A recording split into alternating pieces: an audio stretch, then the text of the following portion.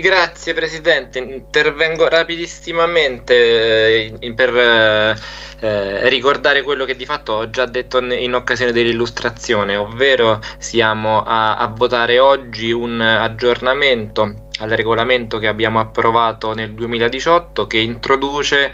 una novità molto importante, ovvero approviamo per la prima volta questo nella, nella, storia dei centri sportivi municipali, approviamo un elenco di tutte le palestre scolastiche e dei campi mh, esterni esistenti oggi sul territorio di Roma, eh, che sarà ovviamente uno strumento molto utile soprattutto in, in vista della programmazione futura. L'obiettivo, ricordo, dell'ente è quello di mettere a disposizione il maggior numero possibile di questi spazi per, eh, affinché le associazioni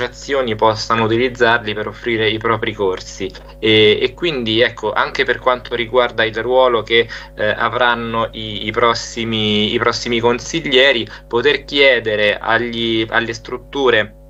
qual è il numero di corsi che sono stati attivati con riferimento all'universo che finalmente oggi conosciamo potrà essere importante per capire appunto l'efficacia del, degli avvisi pubblici che vengono eh, emanati di, di, anno in anno da parte dei municipi e, e quindi governare al meglio il, um, il servizio. Grazie.